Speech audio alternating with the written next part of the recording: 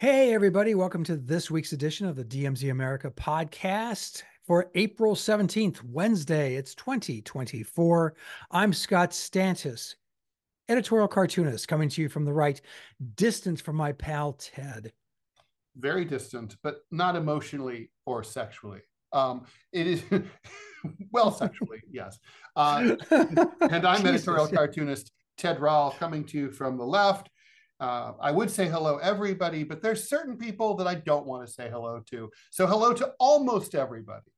Wow. Well, we'll have to learn who those other people are in just a Looking moment. at you, Austin Butner. Anyway, all right, bye.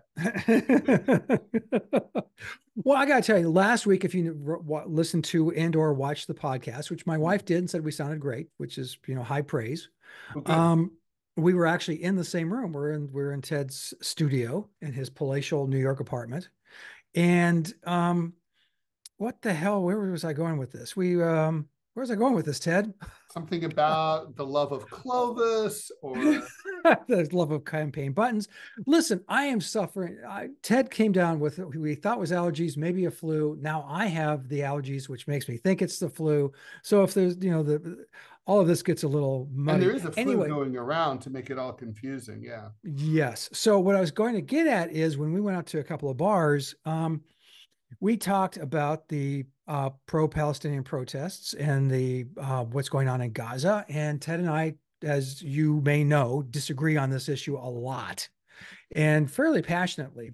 Ted maybe more passionately than I do, but that's you know that's just Ted. Well, you know, I mean, being Ted, it's I I, I get irritable when it's like tens of thousands or hundreds of thousands of innocent civilians being murdered just for fun uh, in a disgusting land grab. So yeah. Well, I'm not sure it it's for fun. But um, so anyway, so we're going to a couple of issues that we're going to tackle, but and the one that it's the uh, the uh, valedictorian for USC, a um, Muslim American, uh, they d- canceled her speech, um, which I mean, I have a serious issue with, and I know Ted does probably for very different reasons, but connect that with the pro Palestinian protests sweeping across the American campuses. And Ted just mentioned before we started recording what's going on at Columbia. And maybe you want to fill in our listeners real quick. yeah, right near. That. So, so Columbia University uh, became the, the fourth of the uh, Ivy League colleges after MIT, UPenn, and Harvard. I don't know actually, actually if MIT is technically in the Ivy League, but I mean, they might as well be. Um, they, uh, but anyway, these highly elite schools. Um, that is uh, the president is up there on Capitol Hill testifying about alleged anti-Semitism on college campuses, specifically her own. Um, and at the same time, uh, tensions are very, very high back on campus. Uh, currently, even as we speak, um, the uh, the pro-Palestinian students have decided to occupy the central lawn um, of the uh, campus, which is sort of a very contained campus, not far from where I live on the uh, in Manhattan. It, that's up on the upper upper west side called Morningside Heights. Um, there's talk about like maybe a repeat of the Columbia 1968 student uprising when students took over the entire campus or most of it uh, before the police uh, came in and, and they called it the bust. Um, but anyway, that's yeah, that that's pretty out there. Um, and of course, also there were those uh, major protests. Yeah, uh, I guess that happened Monday um, when there were uh, simultaneous, unannounced protests that shut down the um, Golden Gate Bridge uh, connecting San Francisco to Marin County in the San Francisco Bay Area, the Brooklyn Bridge here in New York City, um, the approach the approach road to O'Hare Airport in Chicago, and four other major cities all had simultaneous protests that were also aimed at shutting down infrastructure. So all that's going on. Well, let me ask you right out of the bat, Ted. Do, I mean, do the students at Columbia have the moxie to occupy today? And I'm being serious. That's a good fucking question. So, and and I have some uh, a little bit of insight that's very out of date, but more recent than 1968.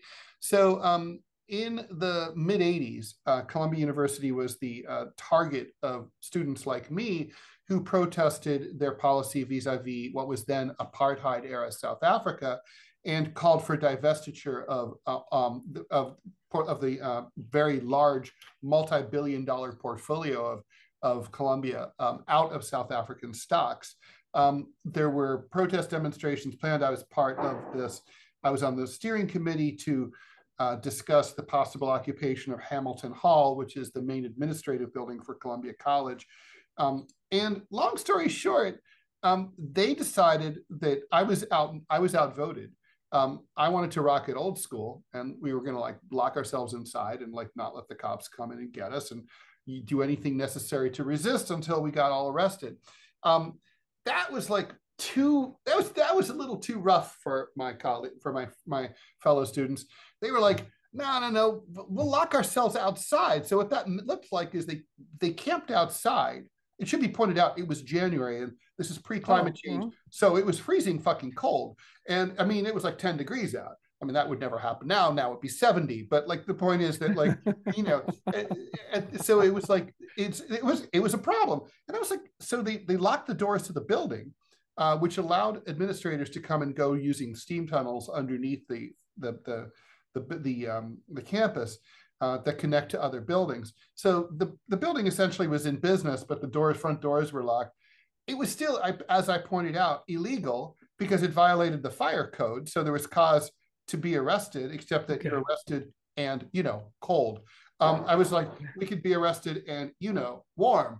And um, and, then they, and so and then finally there was this. What finally caused me to break this all down, uh, and I I went my separate ways from them was when they said, okay, we're going to cooperate with the NYPD and fill out forms so that we can be quickly arrested and processed in and out of the 26th precinct without having to, you know, spend more than an hour, an hour and a half in the booking process. We won't have to spend the night in the lockup, but down at the tombs or anything like that. And I was like, Steve Biko didn't get processed easily by the South African police. Nelson Mandela didn't, you know, he had some inconveniences. No. And I was like, you guys are frankly yes. a bunch of cowards and I can't be part of this. And so I doubt that today's students are braver than we were. Um, I could be wrong, but there has been no sign so far uh, in any of these demonstrations that show that um, the modern left, including the pro Palestine uh, liberation movement, is um, more willing to engage, you know, mix it up with the police or with um, anyone else if need be.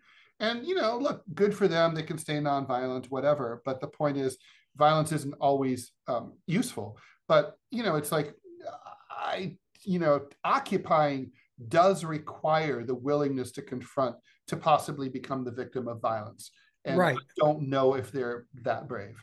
Well, I think even beyond that, and you and I have talked about this on the podcast before, so we're not really going on new territory, but just the fact that the protests, remember the women's movement was going to women's marches, we're going to march every month against Donald Trump for his entire administration. That happened once. No, no, once and one and one and a half. One and a it half. happened one and a half times. That's right. okay. So they that didn't go forward. The Million Mom March against for gun for you know against gun violence for gun control laws happened once. Um, it didn't have a million moms.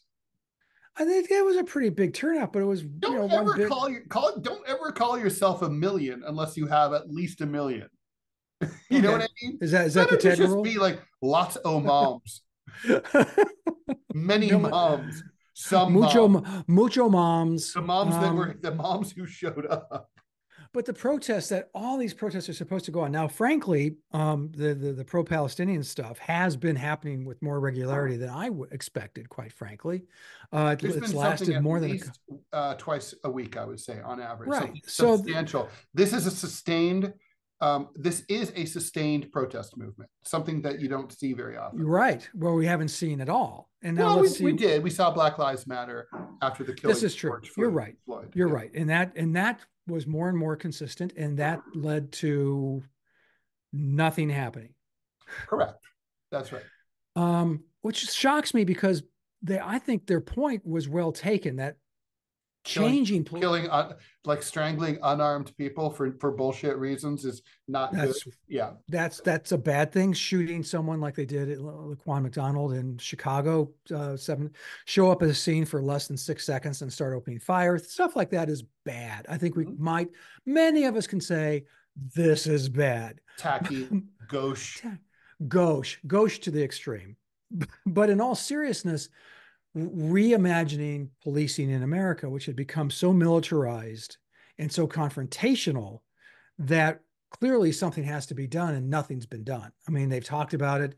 Chicago's one area. Uh, Minneapolis talked, talked about. about. completely defunding their cops. Right, that's stupid. A hot second, and then you know. Poof. Well, it's dull. it's also a dumb idea, um, because well, for obvious reasons. But so okay, let's let's segue with this to the USC, University of Southern California valedictorian, um, Muslim American woman. She was going to give a speech. They they canceled the speech for reasons that they will not say why, other than security reasons.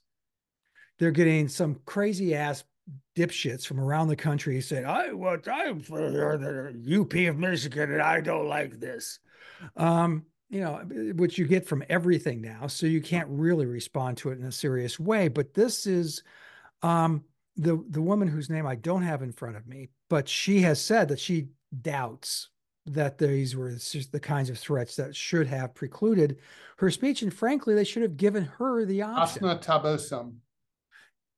And she should have been given the option. They should say, listen, we're getting here's here's full disclosure and they haven't even disclosed to her what the threats were, the nature of them, or how seriously they, they were, uh, which I find disgusting. You, you and I agree on transparency. If, if you're going to tell me you can't do something because there's a security threat, you better damn well tell Ted Rall or Scott Stantis what the threat is. First and foremost, if it's serious, we have family. We don't want them hurt. And, you know, almost equally as important, we don't want us hurt. so so so you have to tell her what the threats were. They did not tell her what the threats were. because there were none. I think no, there's always threats. Ted, no, you I mean, and I draw, there is, profession... I'm sorry, there is literally no threat that could possibly. I don't care if you had a credible threat that the state of Israel was going to send a nuclear weapon to blow up Los Angeles to stop her speech. That's not a reason to cancel the speech. There can be no reason to cancel that speech. There is no acceptable reason. There is no re- I don't care if they say really? you know that there's gunmen coming, then you hire security for that. I mean, you're going to need it anyway, right? You're right, exactly. Whether the speech takes place or not. So, I mean, the point is, you just can't live that way. Um, this the only way to read this is that the is that USC took a Zionist, pro-Israel, anti-Palestinian position on this on on the Middle Eastern conflict, and they can say, and I don't know what happened in that in that room, and it may that may never have happened at all, or crossed the lips, or even the or, or, or even the synapses of any of the people in the decision making loop here.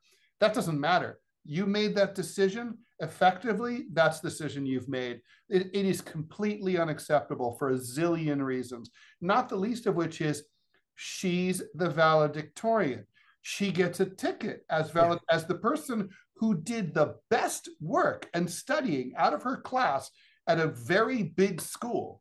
She has the right to give a fucking speech. And I don't care if she goes out there and says, kill all the Jews, blow up the state of Israel. Um, she, this is America. You can say that. Everyone else can say if she says something wrong or bad that she's wrong or bad. But the point is that she she has the right to give a speech. She should give that speech. No one should censor her speech. What they did is absolutely, absolutely repugnant, disgusting, um, indefensible, and they should be absolutely ashamed of her themselves. I hope she sues them, and I think she will prevail because this is, I think, um, I think it's state censorship. I mean, I know USC is a private institution, but I wouldn't be at all surprised if this kind of directive came from the US government, from like the Department of Homeland Security or something like that. I'm going to be more. I'm going to be more cynical than that, Ted. I, uh, which is out cynicking Ted Rall is tough, but I think it came from, you touched on it for a second, uh, a moment ago, and that is that a large uh, base for their fundraising, mm. which you and I talked about. I mean, by the way, folks, this tone and tenor of Ted talking like this, this is what we had in bars in New York last week. Oh yeah. But they uh, the largest. I, I am not sure if they're the largest, but they have to rank certainly near the top ten uh, uh, contributions to USC is from the Jewish community in Southern California. In fact, Ted and I talked about this over drinks again uh, when. Uh, Spielberg and George Lucas gave a substantial contribution to colleges both of those guys were not accepted into USC. They went to Long Beach State, where I went for a short period of time, and they did not give the money to Long Beach State. They gave it to USC because that's where you're supposed to give a lot of money. They have a large endowment, as sort of very much like Columbia, very much like Harvard, very much like Yale, billions of dollars. They don't need the money, but somewhere along the line, a contributor or a handful of contributors, very powerful, uh, wealthy contributors who uh, uh, support Israel, came to them and said, "You got no, no, just no." And you can't allow that to happen. Listen, I, you know, I'm pro-Israel and Ted is pro-Palestinian, although I think we both there's a middle ground that we can both meet on this one, and I believe that we can and have. But regardless of that, I am a First Amendment guy, and I lived in the friggin' United States of America where we have a goddamn First Amendment and you don't get threatened. And if you do get threatened, you say, fuck you, and you give the speech anyway. But correct, that's not what correct. happened here. And also, and and it is it's an and, and that's really the point, Scott. What I'm about to say is just a side issue, a side note. Um, but side notes are sometimes worth hearing. Andrew Guzman, he's the provost at USC, uh, he said that um, this was in order to prevent substantial security risks. Um, he said uh, and then he was asked by reporters, local reporters there at WABC TV out there in Los Angeles, um, that, which by the way, I appreciate a great deal because they were actually, they did really strong reporting on the Los Angeles Times issue with me at the time. Um, anyway, uh, WABC asked if there had been any actual threats. And he said, no, there's been what? No what? Threats. He said we, no? No, he said no. We can't ignore the fact that similar risks have led to harassment and even violence at other campuses, is all he had to say. The intensity of feelings fueled by both social media and the ongoing conflict have grown to include many voices outside of USC and has escalated to the what does that even mean? In that other words, some... it's like literally saying, we're going to puss out, there's been no threats whatsoever. Um, we're just going to puss out maybe because of our alums or maybe because of like groups on campus that are pro Israeli, like Trojans for Israel, which is, I'm going to just say is a, an unfortunate name because like, like, in fact, Trojans is an unfortunate name. It is. Um, yes. You know, but anyway, because I, I, have a certain visual there. But um, yes. anyway, it says um, the so the, the spokesperson for Trojans for Israel. I'm going to say that many many times. Vice President Ella Ecko said because it says that the uh, the the lady who was going to who's the valedictorian in her bio she states that she calls for the abolition of the state of Israel, which is completely anti-Semitic, and that makes us Jewish students at USC feel unsafe, unheard, and targeted. Um, Ella, I'm going to speak slowly and use small words. You're not. You don't have any right to feel safe from words. No one has a right to feel safe from words because this is America. Also, you are heard because you're able to be interviewed by WABC TV, but also it's not your time to be heard. If you wanted to be heard, you should have been valedictorian. It's her turn to be heard. And in terms of targeted, that's bullshit. And also calling for the abolition of the state of Israel is not anti-Semitic. So well, you know you and i disagree on that but that's another that's another podcast. That's absurd. That is absurd on the face the of it. I just of the of the of vatican city as a separate nation state that does not make me Catholic, anti-catholic. It just does, not make you pro-catholic.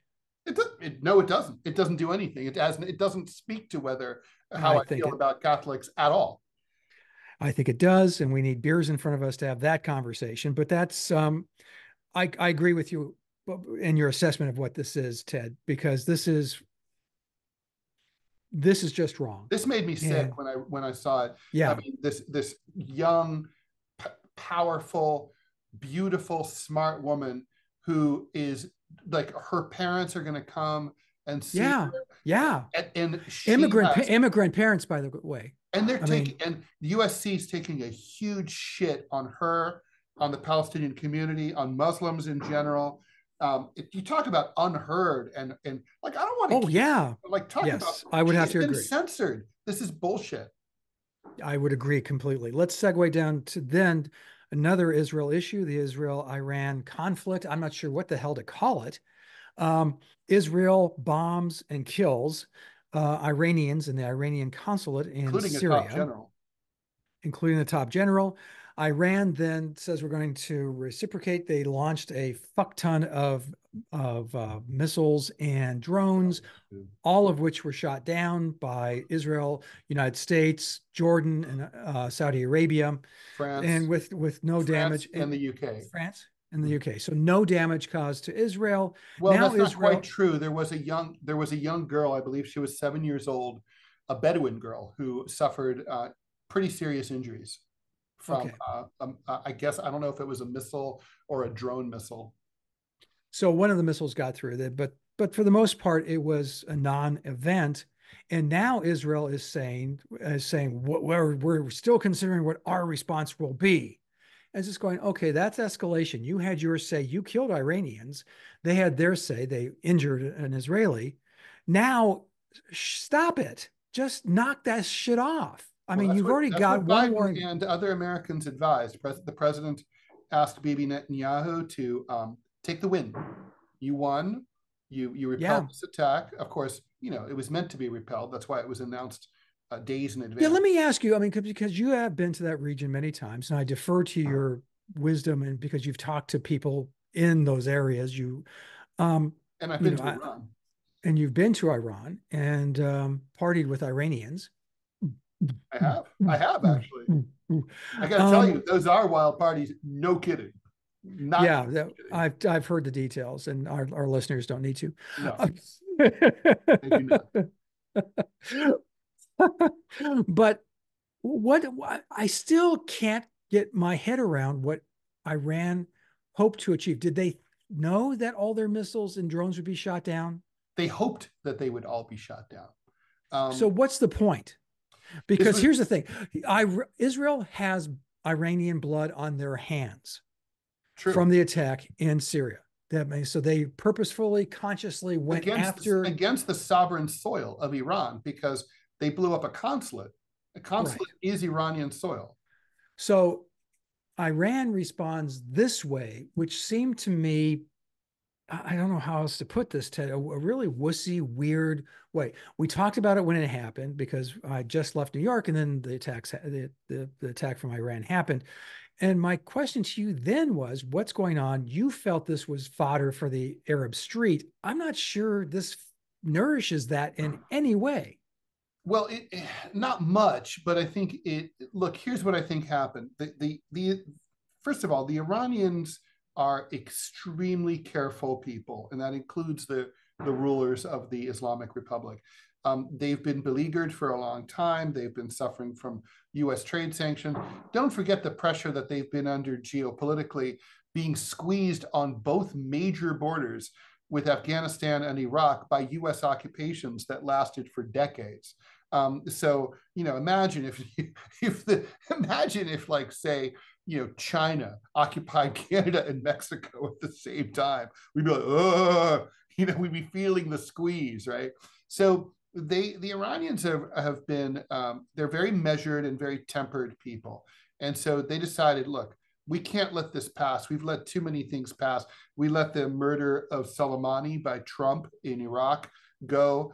Um, we're we're not going to let this this this like we can't let this go or the Iranian people are going to think we're pusses. So, but we can't, we also don't want to escalate this and turn it into World War III. We don't want a hot war with the Israelis.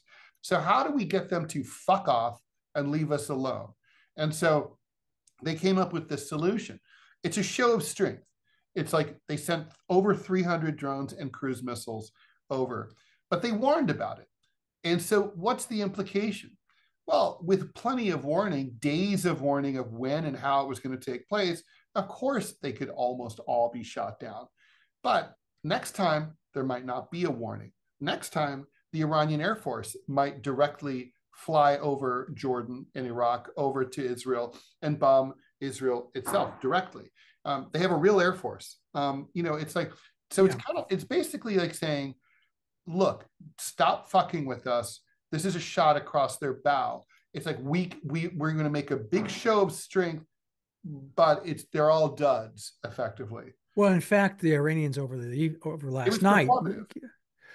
Okay, and I just I, I, question why do a performative act when the other side has already stabbed you effectively? Because they don't want to escalate. Okay, but they words, but but last night and this morning they they said they had you know obviously news conferences and stuff saying Israel you if you respond to this then you ain't seen nothing then you're just going to get it again. Well, but, that's right. And I don't know what that means. I mean, obviously, one of the big problems in any kind of military conflict, you know, where they say it's diplomacy by other means, right? But it's also, but it isn't really, because what happens is when communications break down to the point where you're firing projectiles at each other, like we see in Russia and Ukraine, it means that you're not, you don't understand each other even well enough to disagree, like the way you and I do, mm. where we we can talk I mean, I think if you and I talk about almost anything, like, you know, like I think I have a pretty good sense, for example, of, you know, why you support Israel. And and like I could make that argument. I could, well, why does Scott feel the way he does? I can I can explain that. I can get into your head. I think you have a pretty good sense. You could do the same thing with me. Yeah, I think we so. both know where we're coming from. If you if you can't get there through communications, that's where things break down and you go into fuck you mode. Well, the problem is the Israelis and the Iranians do not get each other at all. And mm. like the um and I think there's probably Iranians within the intelligence community who do understand Israel and vice versa. But overall, the leadership doesn't get each other. And the the Israelis miscalculated. They thought, you know, it, sort of like if you think of Pearl Harbor, why the Japanese attack Pearl Harbor?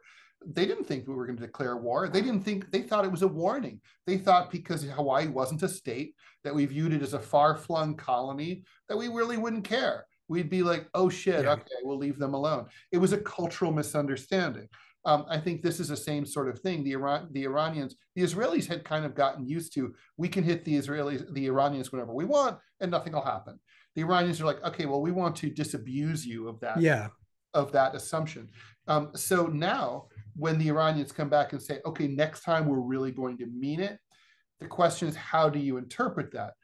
I interpret that as next time there will be an Iranian Air Force direct attack against Israel. But I could be wrong. That could they could mean something completely different. No, I think no, I think if if if Israel attacks Iran again in the way that it attacked it in Syria, no question in my mind, Iran then will do what Iran has to do, and that is then then then it becomes a hot war. Then the it becomes because I mean, the Israeli. I mean, look, the Israelis have been have been extremely provocative with the Iranians, and the Iranians have they've played like they've kind. The Israelis have been like the small yippy dog at the dog run who's biting the leg of the Great Dane, who's looking down like, "What are you doing?"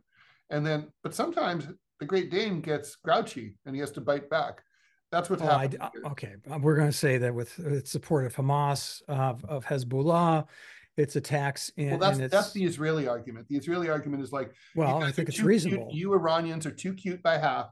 You think you can like wage war against us all the time through your proxies, and that you guys are insulated from any kind of payback. Fuck yeah. you. We're coming for you. That's their that's their point of view. Yeah. Yeah, I don't disagree with it. So that's so, so on. So, and it's not. It, they're they're both not wrong. And on that on that note, that they're both not wrong. And by the way, I do want to just click quickly say to my uh, lefty friends in the Palestinian liberation movement: stop blocking bridges, stop blocking airports. You're losing hearts and minds. I mean, yeah. I was thinking about like they blocked the Golden Gate Bridge for five fucking hours. Okay, so there's old dudes who are like 60 years old and draw cartoons and they can't hold their piss for five fucking hours. Okay, like like I'm not even kidding. Or like, what about kids? People had babies like in their car, and they their baby can't sit in the car for five fucking hours. Might not have enough food. Might yeah, but doesn't this fall? Diapers. Doesn't this fall into the Ted Rall? If protests are bullshit unless they cause discomfort at the very least. Yes, and they should absolutely cause discomfort, but not to people who are blameless. This is like San Francisco. Like they they have this thing called critical mass, where the bicyclists go at rush hour and block rush hour traffic Trust me, having been in the, I, I'm a bicyclist.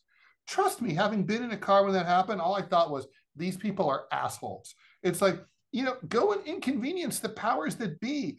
Go and block the street outside of the Israeli consulate. Make it so that they can't yeah. come and go. Um, you know, don't block and don't like literally harm innocent civilians, which is what you're doing here. Like, I mean, come on, people going to O'Hare who had to get out of the air, you know, and and lug their luggage like two and a half miles to go and try to catch their flight. And if they don't catch it, then they, you know, get canceled. Have to pay two hundred dollars in in in rescheduling fees. They miss important appointments. There are people probably going to see a dying relative. Cut the shit. You're being assholes. This is not the way resistance works. Resistance is targeted against the powers that be, not against innocent civilians. Well, and speaking of 60 year olds who have to pee, I'm going to cut this short now, or end this segment right now. Okay. You're list you're listening to the DMZ America podcast. I'm Scott Stantis, editorial cartoonist, coming to you from the right. And I'm Ted Rall, editorial cartoonist, coming to you from the left. And we'll be back with more right after this. And as promised, we're back. I'm Scott Stantis, editorial cartoonist, coming to you from the right. And I'm Ted Rall, editorial cartoonist, coming to you from the left.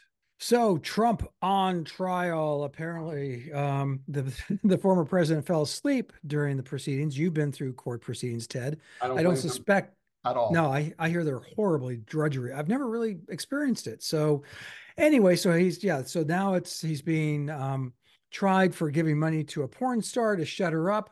I don't know that that's a crime. I certainly don't think it's a crime that's going to send anybody to jail. Maybe I'm wrong.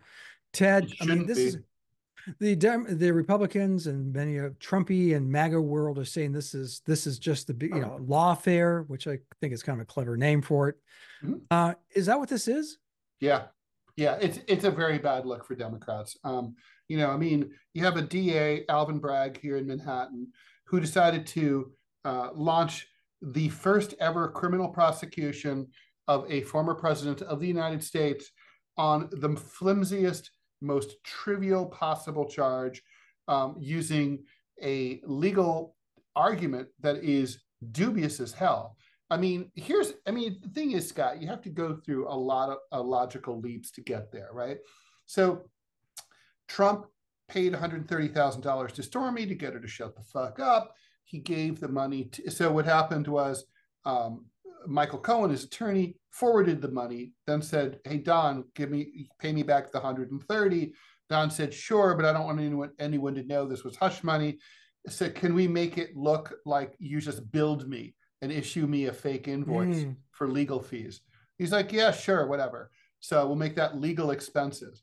So there's no allegation that Donald Trump dig, dipped into his legal into his campaign funds in order to do this. It's his own personal money, no, no question about that. Um, then, ironically, he could legally use campaign funds to spend on legal expenses, uh, as him and Biden are now doing in this cycle. But right, he didn't do that. So um, Alvin Bragg, who ran on, get, he when he ran for office, promised to get Donald Trump. Um, he came up with this very arcane um, thing. So basically, um, under campaign finance law, the argument is that effectively this payoff was a campaign expense because it took place shortly before the 2016 election. And it was meant in part, not just to keep her quiet and telling Melania and everyone else what he, and just embarrassing him, but also to improve his chances of winning the White House. This is a pretty, this is some pretty weak tea to begin with. And it's so weak that when it was this, when uh, John Edwards, who did the same exact thing, was tried for it in 2012 by the federal government, the case fell apart. Um, the the jury uh, rejected one case, and all the other count all the other counts they were hung on. He wasn't convicted of anything. Uh, the DOJ, in fact, considered this case against Trump, and they said, "Look at what happened with Edwards. This isn't winnable. This is like bullshit. It's like you know, it's not a felony. Right? So so let me stop you right there and so, just inquire because I'm a little lost. What is he being charged with exactly? So violation of federal campaign law. But none of the money came from the campaign. No, it did not. It literally, it's like a, it's just like basically like misreporting, like fucking around with like your reports, basically like like rejiggering some shit that kind of doesn't really matter. That's really true. What happened, and so he um and so then Alvin Bragg comes in. He's a local prosecutor. Bear in mind, the campaign finance law is a federal law, and so he the he his his complicated scheme says that uh, in New York, if you miss if you do commit a wire transaction with the intention of committing a crime, that that beca- rises from a misdemeanor to a felony, and not only that, uh, there's no we can you can as soon as you discover it is when the is when the clock starts to tick not when the crime occurred. So even though normally the statute of limitations would have like killed this years ago um, it's like we can revive it because we just literally figured out how to charge it. That's literally the argument. I mean I don't think the, the I don't think this New York jury is going to convict. Um, I don't think they're going to convict Trump. I don't know if it'll be a hung jury or if it'll be a 12 angry men scenario or or they just throw the whole thing out unanimously. More likely that. I don't think this is going to work. I think it's too there's too many giant leaps that you're asking a jury to do. Um, and it's just it's not even a factor of like whether you like donald trump or not or whether you think he i mean the thing is it's just like there's kind of like no crime Right. And I think too, here's what it's a technicality, it's a ticket. It's like it's like right. someone in prison for 20 years for like double parking. Having been involved in politics, this sort of shit happens all the time, especially post mortem, because campaigns are hectic, crazy things. And so paperwork gets thrown around everywhere. And oh shit, I forgot to file this paper. I forgot to file these reports. And they get you know, if it does get to rise to the level of criminality, which it almost never does, it's almost always handled with a fine and everyone goes their separate ways. But what bothers me, Ted, and what you talked about here is that Alvin Bragg ran on a platform. It's a elective office. Am I correct in this? Assuming correct. that? Mm-hmm. And he this ran on a platform like, of prosecuting Trump. Like Letitia James Letitia James, Fani Fani Willis, Fani Willis I mean, in Georgia. They all ran on platforms that they were going to prosecute a human being. Now, listen, uh, I'm no fan of Donald Trump's. Ted is no fan of Donald Trump's. No. Believe me, we both find him repulsive and repugnant. But here's the thing, folks, and this is why this sort of thing should matter to you: is it can happen to you. Yes. All of a sudden, the Justice Department can turn on a dime and say, you know, and the prosecutors can run and say, I'm going to prosecute Ted Rall. Yeah. And I want you to yeah. vote for me because I'm going to do that. And that's so so chilly, contrary, so dangerous, so contrary to the American, the idea of American jurisprudence and, and justice. I mean, here's, the, here's the thing. I mean, if look at Donald Trump, I mean, whether or not he's guilty of a crime, I know not, right? But but what is but what is true is that like imagine you're him and you know and you hear that a a DA candidate running to say I'm going to prosecute him.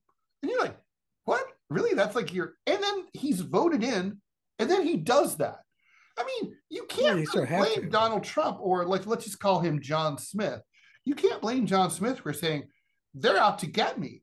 I mean, they are out to get him. I mean, yeah, just because if, if you're not out to if that's not out to get you, that that phrase doesn't mean anything just because you're paranoid doesn't mean they're not out to get you. And that's this is one of the you don't even have to be paranoid here. They said no. they were out to get you.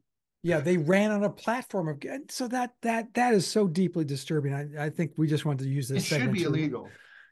It should be. And, and here's the, the other thing is, I mean, just the case itself, if it's true that no campaign funds were used, then that's bullshit right there.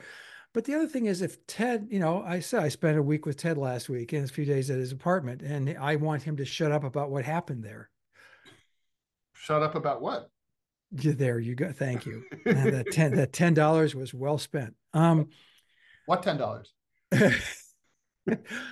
my point is that is is that in its uh, in and of itself a crime and it's, it just isn't and this doesn't rise to that level you know and... what this is like? It's very much like what happened to former new york governor eliot spitzer.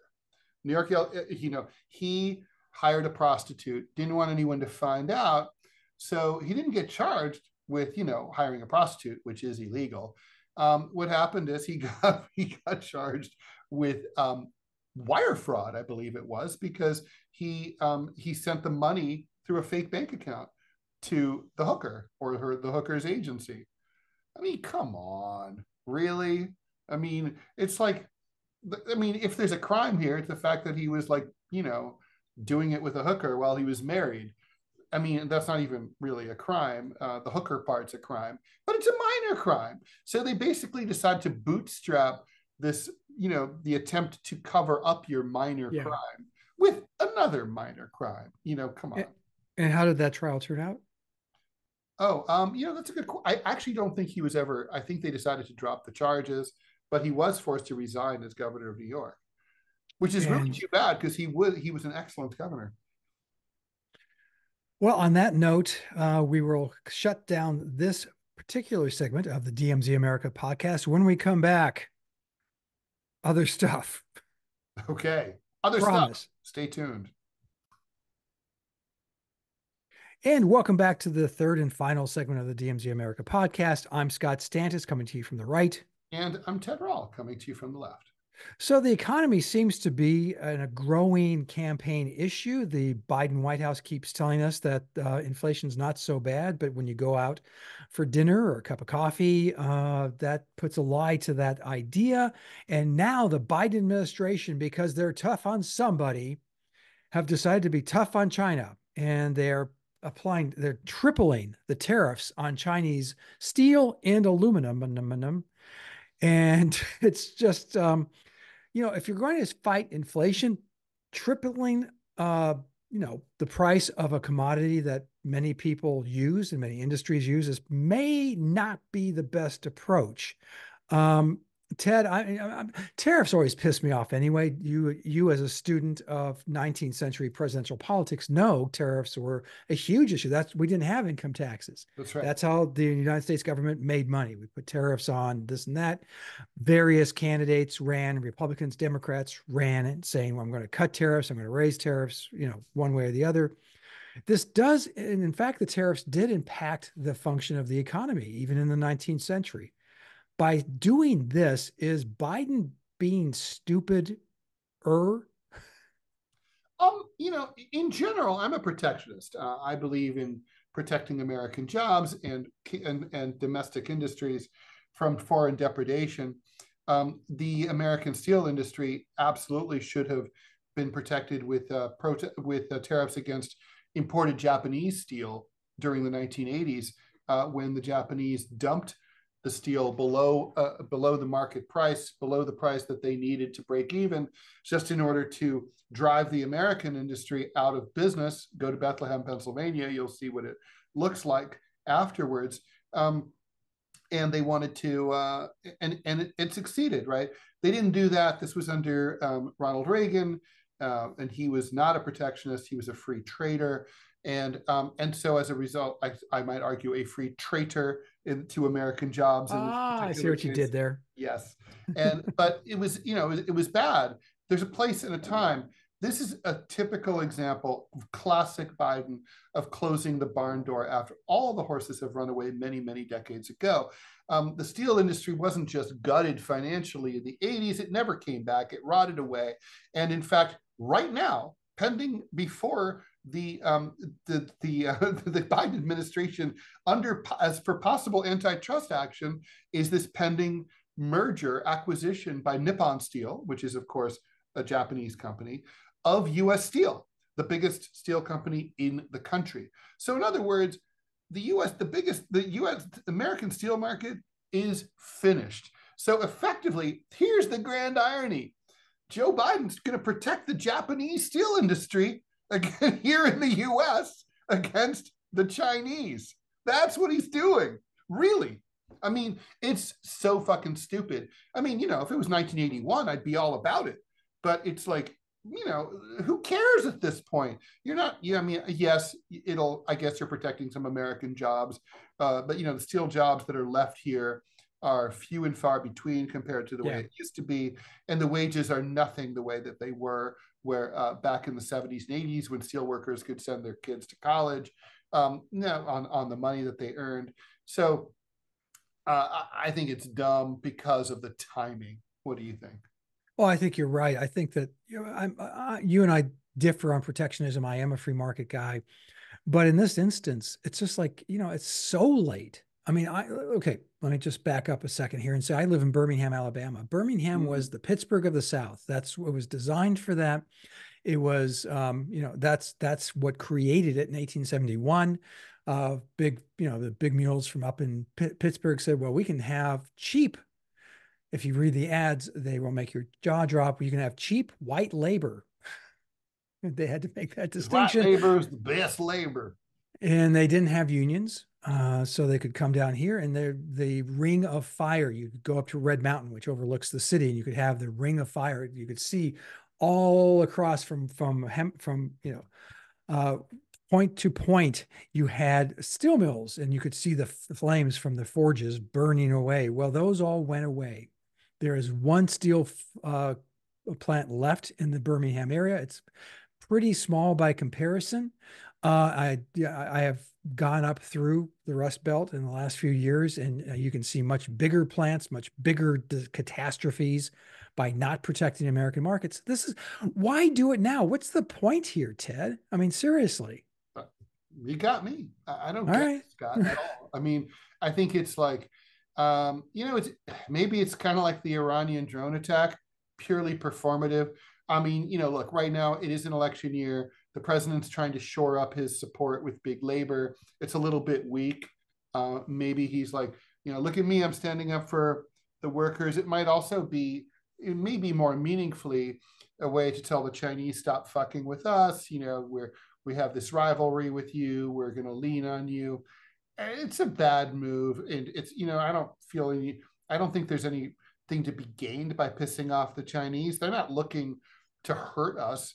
They're just looking to rake in money.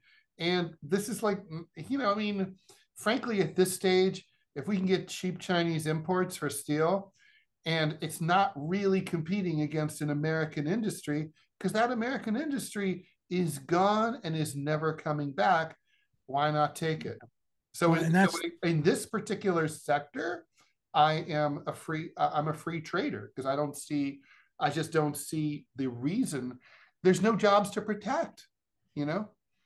Well, it also it, it dovetails into a conversation real quick about um, the Biden administration and the billions of dollars they're throwing to try to resuscitate the American um, uh, uh, Intel chip, or not just Intel is not just one of the companies, it's one of the companies, but the uh, you know the chip industry in this United States, all of which has been shipped out to China, to India, to Vietnam, and other places. Um, I just I have again I feel very uneasy trying to force feed an economy and trying to resuscitate an economy as you mentioned, steel's not coming back. You're not going to all of a sudden Akron, like, Ohio like steel mills sorry to interrupt, Scott, but it's like yeah. remember during the last campaign, Trump kept talking about I'm going to bring back coal.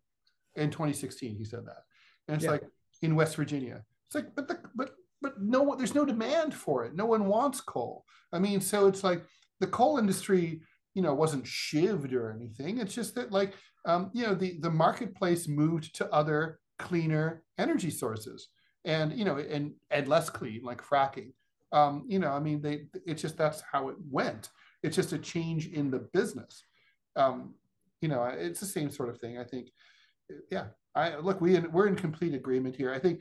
Look, Joe Biden has he. You know, the thing is, like, I, I'm sympathetic to Joe Biden's argument here, which is he's really between a rock and a hard place. Inflation. He has to. I mean, he can't like depress prices or we'll go into a depression. So, you know, all he can do is lower inflation, but that is it, it's literally impossible to go back in time and reduce the very high inflation that followed the restart of the economy after the COVID lockdown. And that was inevitable that that was going to happen. I mean, you know, it was a very analogous situation to the end of World War One, which coincided with the lockdown of the Spanish flu pandemic. So you had a double kind of whammy, right? And consumer spending had been radically depressed from 1917 to 1921. And then the economy was a disaster. So when people started spending again, at that time, your uh, you know President Warren Harding, who I think you kind of admire, he was smart. Yeah, Coolidge. He was, he was like uh, he was like, we're not going to stimulate the economy. Yeah. Yes. We don't think we need to. We think it'll all just come back by itself, and it did. It came back gangbusters.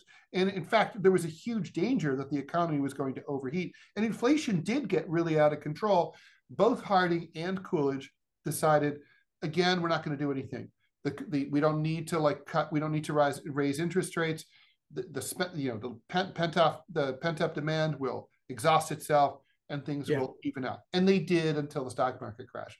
Uh, so it, it, was like this time, um, you know, Biden was very worried about the economy, so he overstimulated it. Um, and uh, when he when he came in with the Inflation Reduction Act, and ironically, um, and um, and so the inflation went w- way up high. But now that's done, and there's nothing he can he can't undo it. We can't go back to 2020 prices, but the American people remember 2020 prices, and they want those prices back. So all you can really kind of do at this point, people will get used to the new prices, but it's going to take time. Will it happen by November? Maybe, maybe not. So that so I but I think where Biden could maybe do something um, would be with housing prices. I mean, the housing market's completely frozen because of high interest rates. There's no inventory. There's a major part, the homeless problem is in large part caused due to a lack of affordable housing. My idea, he won't do it, but my big idea is okay. seize some of the 30 million abandoned homes in the United States that have been, I'm being abandoned, I mean unoccupied for 20 years or more boarded up, pieces of shit. No one's ever going to live there. Seize them, turn that into affordable housing and housing for the formerly homeless. Like you will increase housing stock dramatically. That's going to make prices housing affordable. Give those houses away for a song. Just have like make it a WPA project. Basically, have people pay only the cost that, that a new federal, like maybe the FHA, establishes a construction agency like if it costs twelve thousand dollars to build that house, you give it to people for twelve thousand dollars. You know, hmm. I guarantee you, you're going to be putting people in their starter homes. You're going to be revitalizing neighborhoods. Uh, it's going to the, the houses that are around those houses, their values will go up. Local lo, local tax collections will go up. It's going to revitalize the inner cities all over the country. This is the key. Interesting. No, uh, that's a, I've thought about that a lot. You mentioned that uh, the other day when I was out there. You also mentioned on the podcast the people's perception of inflation, inflation, the lag time. That inflation is at three percent. It's not as horrible as it was coming out of the pandemic, but people don't see that. They see like me. They go and like, you know, I, I can't go out to lunch now for less than fifty bucks with my yeah. wife. Yeah. Um, and that's you know, that's the new reality. So at this point, success for Biden is like if it's only $52 for you to go out to lunch with your wife by November, that's success. So that's yeah, but well, people see it, and I think you make that, and you make that valid point. Uh, you know, there's this lag time. It was a lag time for uh, George H. W. Bush in 1992. Yep. The economy was coming back after a shallow election was recession. in '94. He would have won. Yeah, exactly, exactly. All right. Well, thank you, Ted Rall. And thanks again for last week for the hospitality. Where can we see all things Ted Rallian? Please check out my uh, daily uh, show on Sputnik, Monday through Friday at 10 a.m. to 12 noon Eastern. The final An excellent show, by the way. Angie Wong and frequently with you, Scott Stantis. Um, also, you watch it on X Spaces or Rumble or on Sputnik News. Uh, go to go whowhatwhy.org on Saturdays. Look at my cartoons. Go to rall.com. Go to gocomics.com slash Ted Rall and go to CenterClip for both you, Scott, and me to look at our mini podcast. Scott, where can we find all things Scott Stantis? You can go to gocomics.com slash Scott Stantis for my editorial cartoons, gocomics.com slash Prickly City. allegedly the chicago tribune is they just switched over to a new um, you know web page type thingy and lost my gallery i'm not kidding they can't find it anywhere same Interesting. People who, who, the same government agency who rebuilt the FAFSA, obviously. Exactly. And gave you, know, you the Obamacare website. They found other galleries. Interestingly enough, they just couldn't find mine. But uh, hopefully, we'll get that up and running shortly. Um, and like Ted said, Centerclip, which I really love, and I can I do economics uh, discussions, which I adore, and we can talk politics. It's a real time, 30 seconds to no longer than five minutes. It's it's an awesome platform. So I'm really happy. And Ted, again, la- one last time, thank you so much for the hospitality. I just had a great time. Got to meet Clovis face to face. True. And and I fear him now. And, and I worship you understand, him. like he is in charge yes. of everything. Yeah. He is. He is. Okay. All right. God bless well, him. With that, everyone, thank you so much, everyone, for listening. Uh, see you every week or more often if news breaks. See ya. Bye.